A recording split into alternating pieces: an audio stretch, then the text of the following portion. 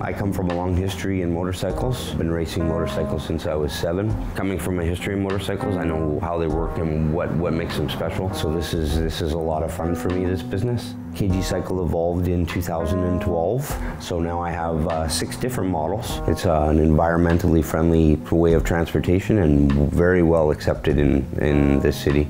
I got started in this business through uh, a few hard times. I hit a bottom and I worked with two outreach places. One is called Reese and one is called Umbrella. They've supported me the whole way through this, and uh, now for every scooter that's sold, I uh, donate $25 to Reese and I give back to Umbrella any way I can. So it's just a charitable donation that I can give them in a way of my giving back. What better way to do it than do it through the scooter sales? So.